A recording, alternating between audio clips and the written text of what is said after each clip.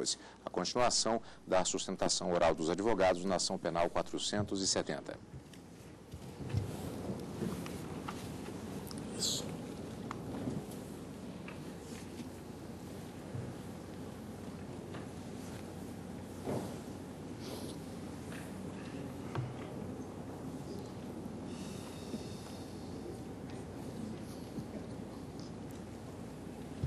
Sentemos-nos, por favor.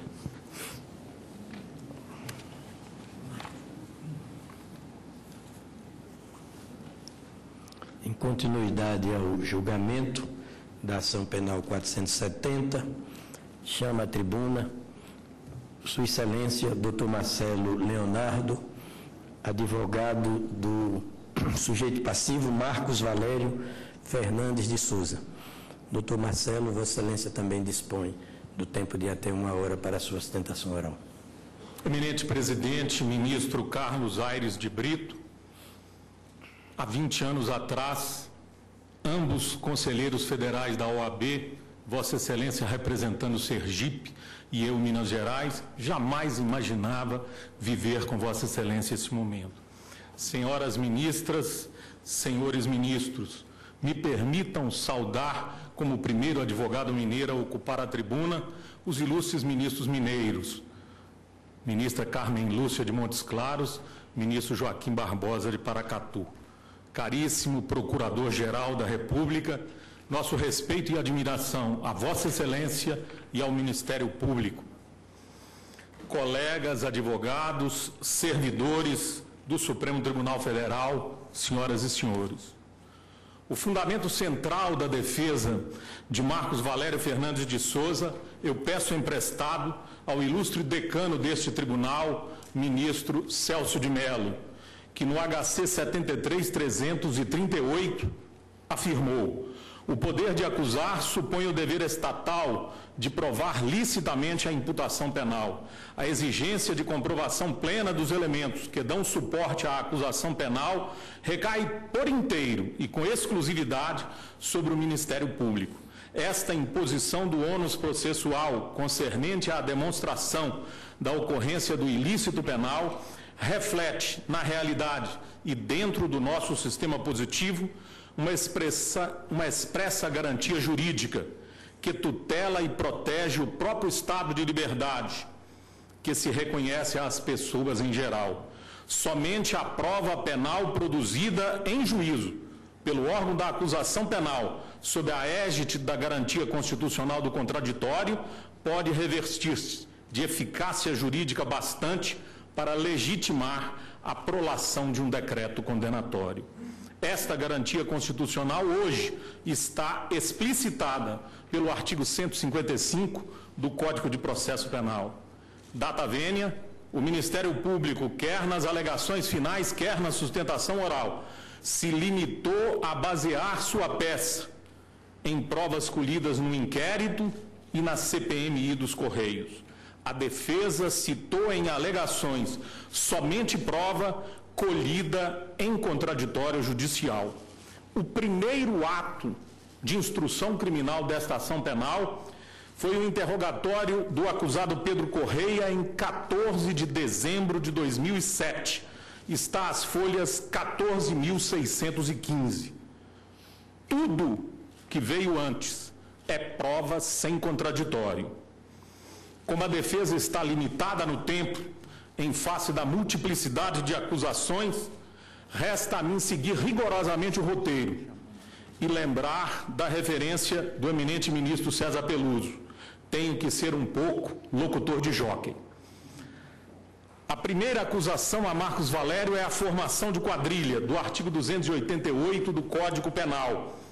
A professora Heloísa Estelita, em lição transcrita nas alegações que tive a oportunidade de encaminhar agora, uma via a cada um dos senhores ministros, diz que há uma banalização no Brasil da acusação de quadrilha pelo Ministério Público, especialmente nos crimes societários. E ela propõe uma fórmula para o julgamento. Diz ela: se afastados os crimes imputados, restar apenas uma associação de pessoas no âmbito de uma empresa, não há quadrilha. Entre os inúmeros precedentes deste Supremo Tribunal Federal, cito dois.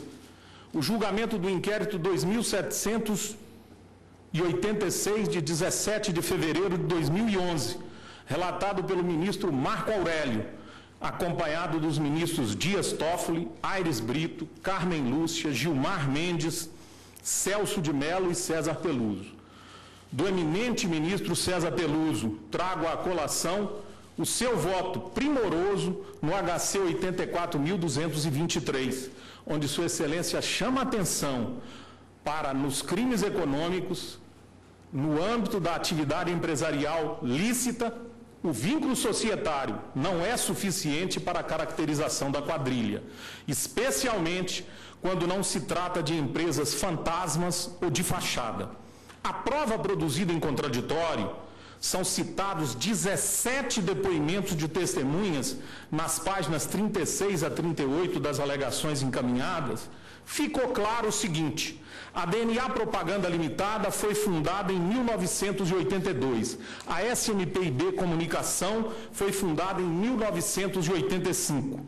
Há 25 anos eram duas agências de propaganda que exerciam atividade ilícita, as duas maiores agências de propaganda de Minas Gerais premiadíssimas, com reconhecimento regional, nacional e internacional, dotadas de personalidade jurídica, idoneidade financeira e capacidade técnica eram habilitadas em inúmeras licitações na administração pública federal, estadual, municipal.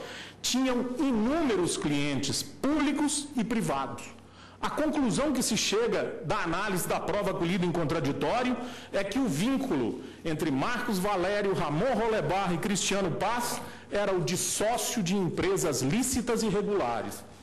O vínculo deles com o doutor Rogério Tolentino era o vínculo profissional entre cliente e advogado.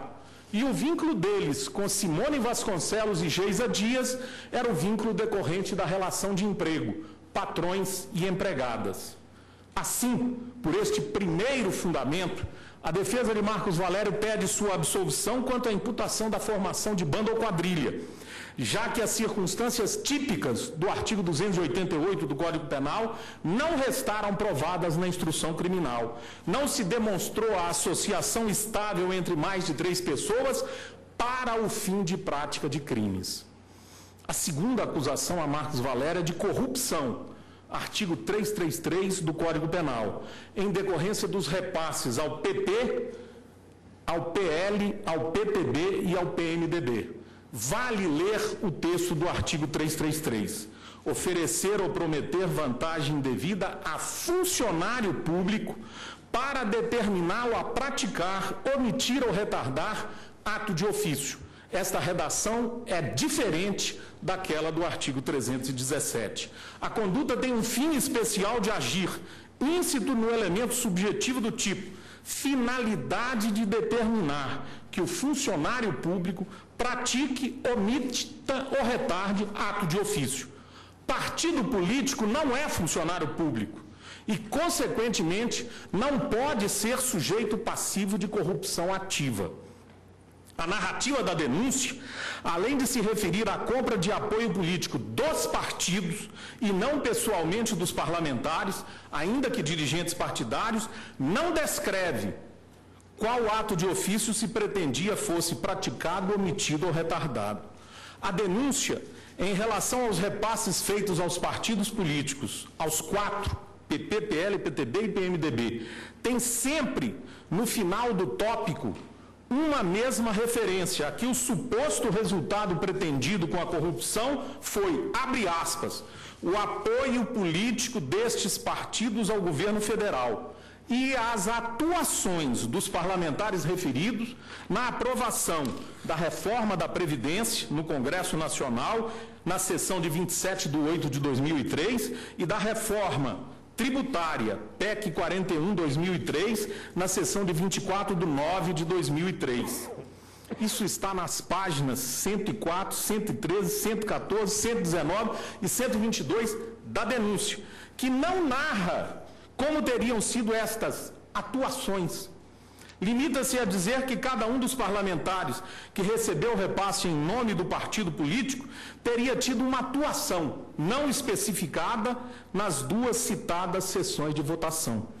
Mas neste ponto, em suas alegações finais, o Ministério Público abandonou a acusação inicial contida na denúncia, pois chega a dizer no item 565 das alegações finais que, aspas, as votações dos acusados na reforma da Previdência Tributária não são objeto desse processo, fecham-se as aspas.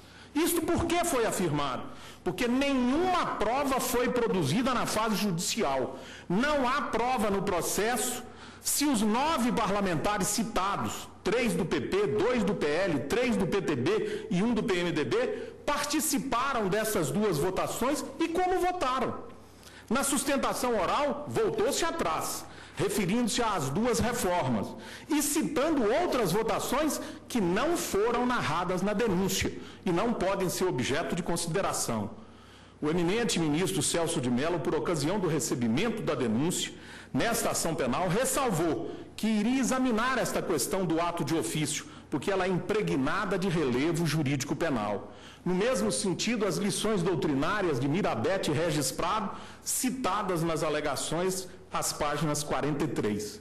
Por isto, por este segundo motivo, quanto à imputação do crime de corrupção ativa em relação aos repasses aos quatro partidos citados, a defesa de Marcos Valério pede sua absolução, uma vez que a denúncia aponta como sujeito passivo da corrupção ativa quem não é funcionário público, partidos políticos, e refere-se a apoio político e a uma não especificada atuação em sessão do Congresso, que além de não provada, não caracteriza ato de ofício de parlamentar.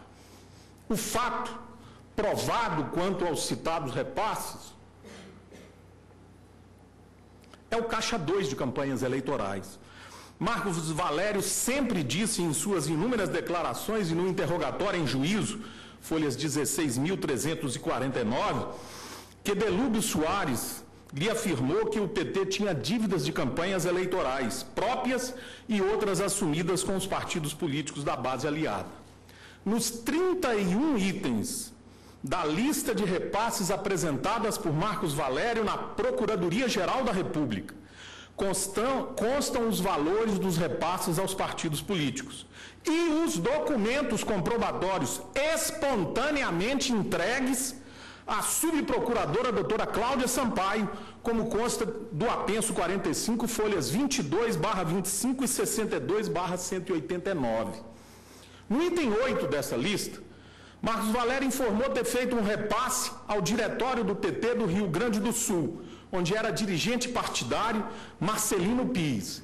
Esse repasse levou o Ministério Público Eleitoral do Rio Grande do Sul a oferecer denúncia contra os dirigentes do PT do Rio Grande, Davi Estival, Marcelino Pires e Marcos Fernandes Trindade, pelo crime eleitoral definido no artigo 350 caput do Código Eleitoral. O processo crime eleitoral está, as folhas 132 a 141 do apenso 115. Ouvido no curso desta ação penal, em Porto Alegre, Davi Estival informou que era presidente do PTRS de 2001 a 2005. Confirmou o recebimento do dinheiro, a finalidade de pagamento de dívidas de campanha e o processo por crime eleitoral. Folhas 31.794. A análise do quadro geral de votações, que está na página 38.509 dos autos, com o cruzamento com os saques bancários, que aparece no apenso 120 dos autos, segundo os depoimentos em juízo dos deputados federais Maurício Rantes e Odair Cunha, que integraram a CPMI, folhas 42.594 e 42.622.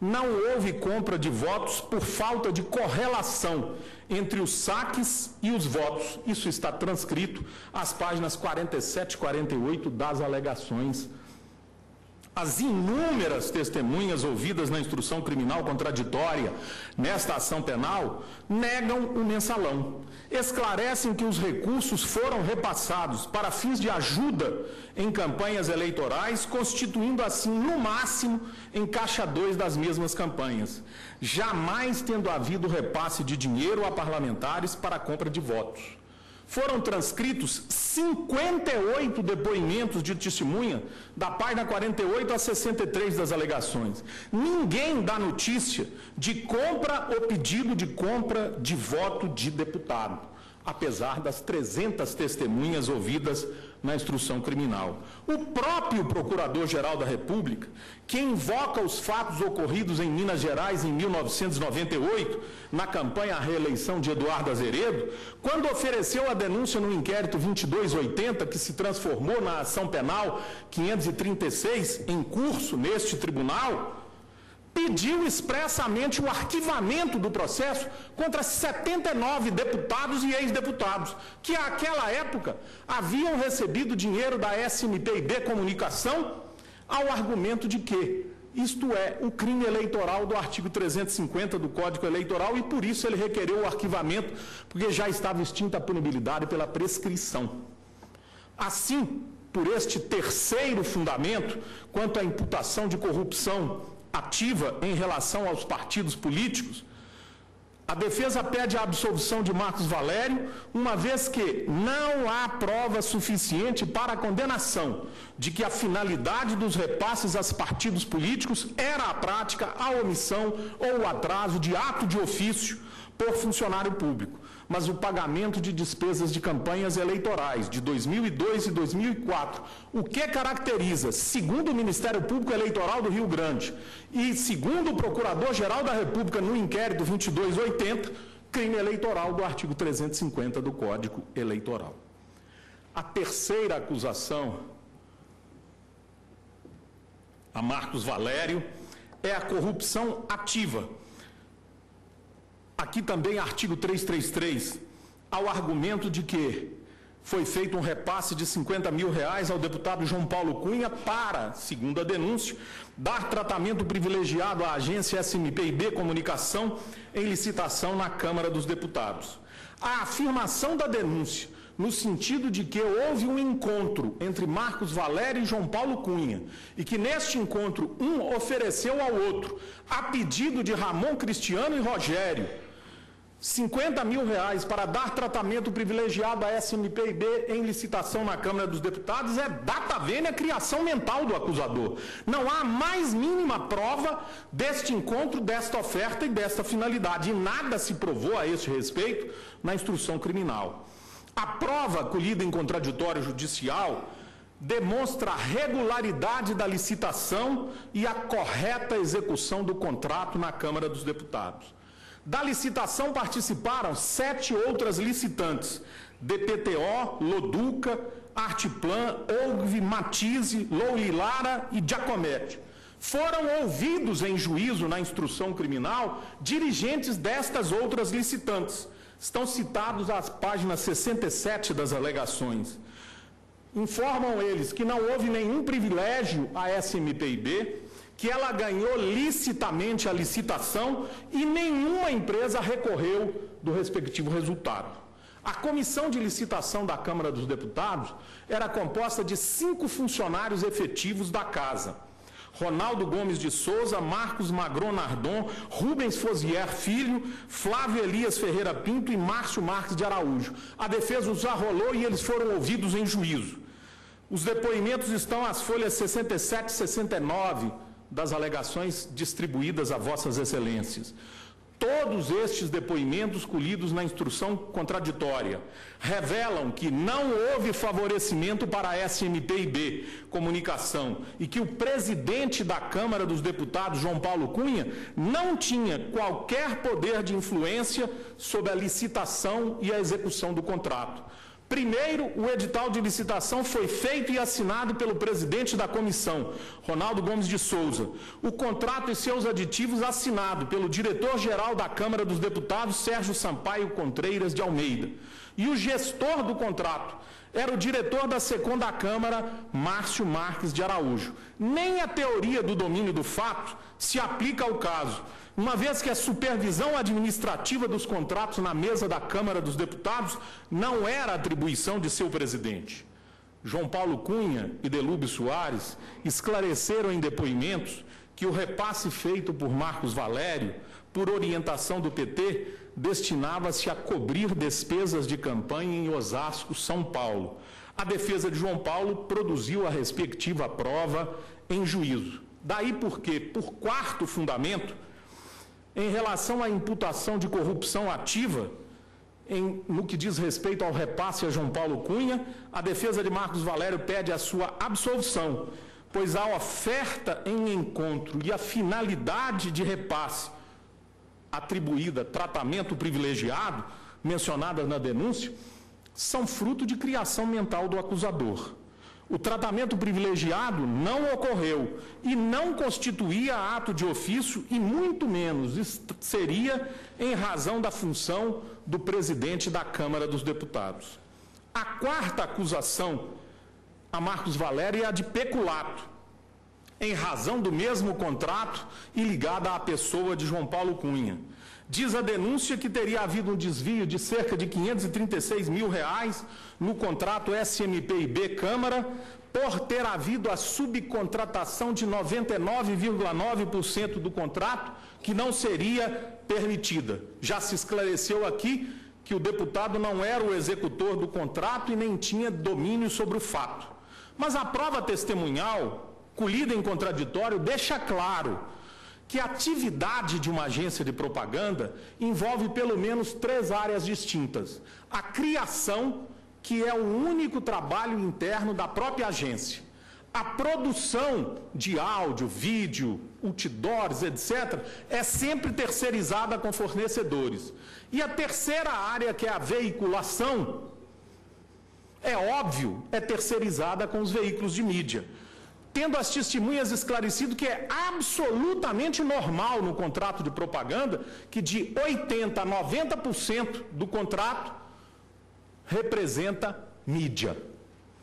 Por isso, nada havia de anormal na terceirização no mencionado contrato. A nota fiscal da agência de propaganda obrigatoriamente envolve o seu trabalho de criação e os trabalhos de terceiros, quer de produção, quer de veiculação. Neste sentido, oito depoimentos de publicitários transcritos às folhas 94 e 96 das alegações.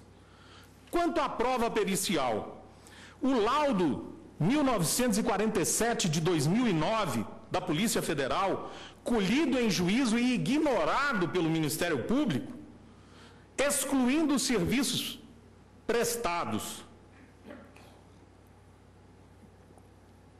pela IFT do jornalista Luiz Costa Pinto, afirma expressamente, abre aspas, constataram que os serviços contratados foram prestados, fecham-se as aspas, e, abre aspas, não foram encontrados indícios que pudessem indicar uma terceirização fictícia dos serviços.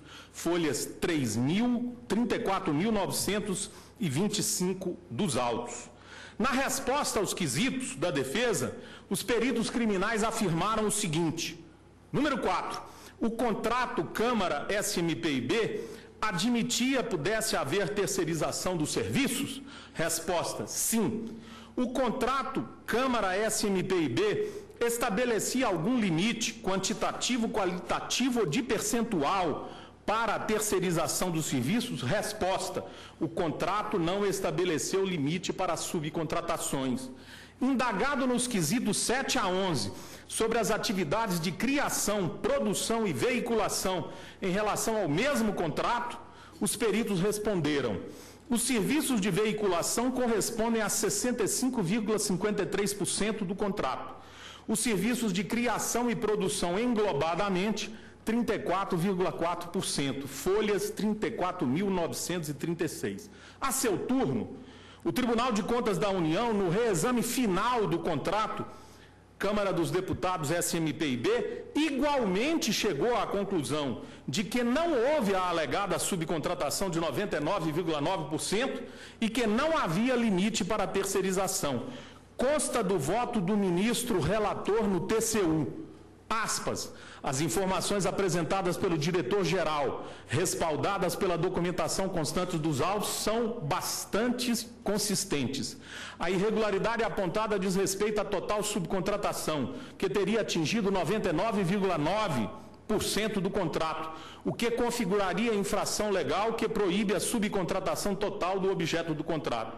Quando, na realidade, verifica-se pelos dados anexados que esse percentual atingiu 88,68%, que apesar de alto, para este tipo de trabalho pode ser considerado normal, como muito bem esclarecido pelo informante.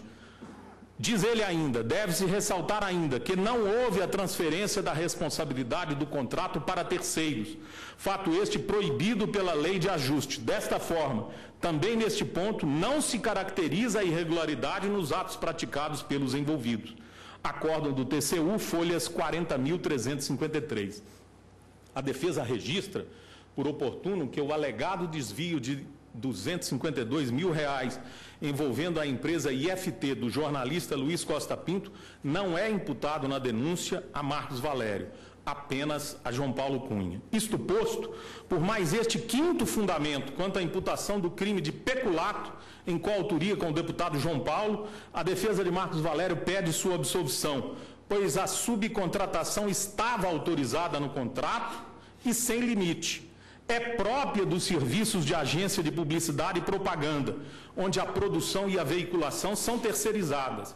Não foi total, mas absolutamente normal, e os pagamentos à contratada SMPIB resultaram de serviços efetivamente prestados conforme o contrato.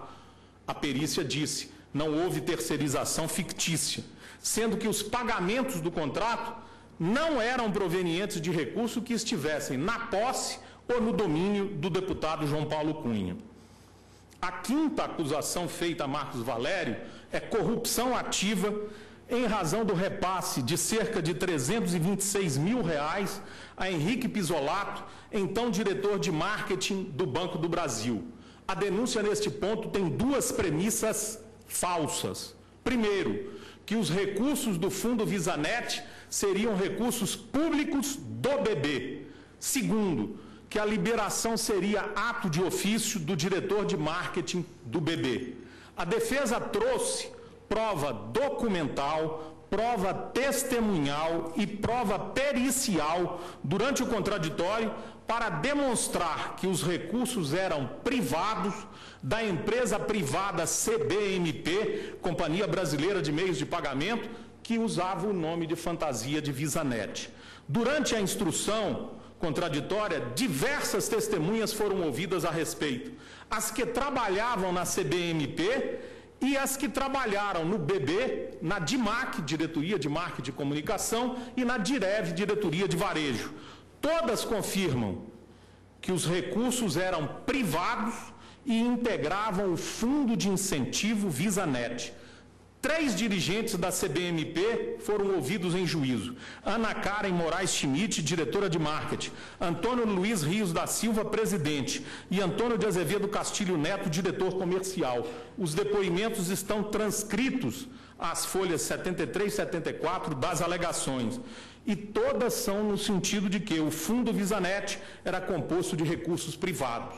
O auditor do BB, José Luiz Prola Salinas, disse o fundo Visanet é um fundo privado da Visanet para incentivo da bandeira Visa, especificamente do cartão Orocard da bandeira Visa. A Visanet tem o fundo acompanhado e gerido pelo seu comitê gestor. É um fundo privado e o pagamento era feito diretamente pela Visanet, folhas 42.260. Depoimentos de oito ex-funcionários do Banco do Brasil esclarecem que os recursos do Fundo de Incentivo Visanet não eram recursos públicos do Banco do Brasil, eram recursos privados da CBMP e que jamais transitaram por contas do Banco do Brasil, transcritos às folhas 75 e 80. A prova documental trazida aos autos durante a instrução criminal demonstra a saciedade que os recursos do Fundo Visanet não integravam o orçamento do Banco do Brasil e não impactavam suas receitas. Há inúmeras notas técnicas juntadas aos autos no volume 25 e nos volumes 110 a 129. São 20 volumes de notas técnicas que foram produzidas pela DIMAC e pela DIREV do BB para a aprovação das ações de incentivo da propaganda. Em várias delas consta expressamente que a despesa aprovada para ação de incentivo com recursos do Fundo Visanet não envolve recursos do Banco do Brasil e por isso não impactam seu orçamento. Verifica-se sempre, ao final dessas notas técnicas, a aprovação com diversas assinaturas, por diretoria, comitês, conselho. Segundo as diversas testemunhas ouvidas na instrução contraditória, muitas delas signatárias dessas notas técnicas, isso significa que a aprovação envolvia, no mínimo, sete pessoas e, no máximo, 20 pessoas. Porque desde 1996, nada, absolutamente nada, é decidido no Banco do Brasil isoladamente por um diretor. Foi instituído o sistema de decisão colegiada. O depoimento de 10 funcionários do Banco do Brasil estão transcritos às folhas 85/89. Na lista constante do quadro de folhas 81 das alegações, são citados 30 exemplos de notas técnicas, onde consta expressamente a seguinte frase: aspas, não impacta o orçamento do Banco do Brasil, não envolve o orçamento do Banco do Brasil. Mas tem mais, tem a prova pericial. Como o Banco do Brasil de Investimento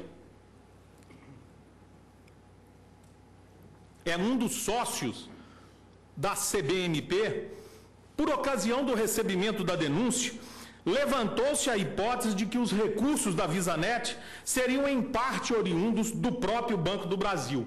A instrução criminal veio demonstrar que o Banco do Brasil não aportou dinheiro na Visanet. Na fase da perícia, foi indagado aos peritos da Polícia Federal. Isto é gravíssimo, eminentes senhoras ministras e senhores ministros foi indagado, aspas, se houve repasse de dinheiro do Banco do Brasil para a CBMP Visanet, fecham-se as aspas. Demonstrando manifesta irresponsabilidade, os peritos no laudo 2046 de 2009, no item 29, afirmaram o seguinte, abre aspas, os documentos constantes dos autos do processo permitem concluir que a Companhia Brasileira de Meios de Pagamento, Visanet, recebeu recursos tendo como origem o Banco do Brasil. Fecham-se as aspas. Como esta informação é falsa, a defesa requereu fossem os peritos ouvidos em audiência. Inicialmente, o eminente ministro o relator indeferiu o nosso pedido. Nós fizemos um agravo regimental, Sua Excelência, graças a Deus, voltou atrás. E em audiência na Justiça Federal, eu interroguei esses dois peritos e perguntei: o senhor pode me dizer quais são os documentos constantes dos autos que lhe autorizaram a afirmar na perícia que tem recurso do Banco do Brasil repassado para a Visanet. O sujeito se esfregou todo na cadeira, mas teve que afirmar. Não tem nenhum documento constante do processo que me permita afirmar isso. Todos dois, os depoimentos estão na página 79. É um exemplo acabado do crime de falsa perícia. Mas nesta perícia, existem afirmações que são verdadeiras. Estão transcritas as folhas 90. Número 34 o fundo de incentivo VisaNet era constituído com recursos oriundos da CBNP. O fundo de incentivo VisaNet era administrado por um comitê gestor composto pelo diretor-presidente, pelo diretor executivo de finanças e pelo diretor de marketing da VisaNet. Feito aos peritos a pergunta: os recursos do fundo VisaNet transitaram em conta de titularidade do Banco do Brasil? Resposta: no período de 2003 a 2005, os valores transferidos para a DNA Propaganda em nome do Fundo VisaNet foram originados de contas da empresa CBMP. Então se indagou, o senhor Henrique Bisolato podia assinar pela CBMP, ele tinha poder para transferir dinheiro da Visanet para a DNA? A resposta não. Isso era só a diretoria da empresa privada, a Companhia Brasileira de Meios de Pagamento. É impressionante o desprezo pela prova colhida em contraditório contida nas alegações finais do Ministério Público, onde se insiste na afirmação não verdadeira de que Henrique Pisolato, aspas, autorizou repasses à DNA. Ele não autorizou porque não tinha poder para autorizar. Henrique Pisolato esclareceu, junto com Delúbio Soares, que o valor por ele recebido dizia respeito a despesas da campanha do PT do Diretório do Rio de Janeiro, onde Pisolato era afiliado. Em juízo foram ouvidos Manuel Severino dos Santos, Carlos Manuel da Costa Lima e Carlos Roberto de Macedo Chaves, militantes do PT e filiados ao PT do Rio de Janeiro, e confirmaram essas informações, transcrito a folhas 84 das alegações. Na denúncia, o Ministério Público Federal disse que o núcleo de José Dirceu mandou Henrique Pisolato fazer e o acusou de peculato. Este tribunal rejeitou a denúncia nessa parte. Na denúncia, o Ministério Público afirmou que Luiz Guxiquem tinha mandado Henrique Pisolato fazer e por isso o acusou de peculato. Nas alegações finais, o Ministério Público pediu a absolvição de Luiz Guxiquem. E agora, na instrução criminal, veio a prova de que Henrique Pisolato não autorizou nada em relação ao fundo Visanet, porque isso não estava na esfera de atribuições de seu cargo na outra empresa, Banco do Brasil. Por isso, por este sexto fundamento em relação ao repasse feito a Henrique Pisolato, a defesa de Marcos Valério pede sua absolvição, pois as antecipações feitas pela CBMP à DNA Propaganda não eram recursos públicos originários do Banco do Brasil e não constituíam ato de ofício da esfera de atribuições do acusado Henrique Pisolato. A sexta acusação a Marcos Valério é a de peculato, junto com Henrique Pisolato, até porque Marcos Valério nunca foi funcionário público, ao argumento de que Henrique Pisolato teria autorizado quatro repasses para a DNA do, dos valores do fundo Visanet. Eu não preciso dizer mais nada. Basta fazer o pedido de absolvição quanto a esta acusação de peculato, pois as antecipações feitas pela CBMP para a DNA não eram recursos do Banco do Brasil, eram recursos da própria Visanet e o Henrique Pisolato não tinha poder de determinar absolutamente nada nesta empresa privada. Dizer que os recursos públicos pertencentes a uma empresa privada, só porque ela, por exemplo, é sócia do BNDES, é algo risível, data máxima vênia. A sétima acusação a Marcos Valério é outro peculato, envolvendo o mesmo Henrique Pisolato, ao fundamento da denúncia de que a DNA Propaganda Limitada não teria repassado ao BB os valores de bonificação de volume ou bônus de volume recebidos de fornecedores no valor total de R$ 2.923.686,15 centavos. Aqui o nó da questão é saber o conceito de bonificação de volume ou bônus de volume. Estes valores representam uma remuneração percebida pelas agências de propaganda pelo volume, quantidade de publicidade que elas encaminham aos veículos de mídia, pelo conjunto de seus clientes públicos e privados num determinado período. A Associação Brasileira de Agências de Publicidade, que há 56 anos, a ABAP, representa as agências no Brasil, em nota disse o seguinte: a bonificação de volume BV, que os meios de comunicação usam para incentivar a qualidade da publicidade e o aumento das vendas de espaço publicitário, faz parte de normas que regem a atividade publicitária. Geram para as agências receitas legítimas, faturadas, contabilizadas, sobre as quais se recolhem impostos e não podem ser transferidas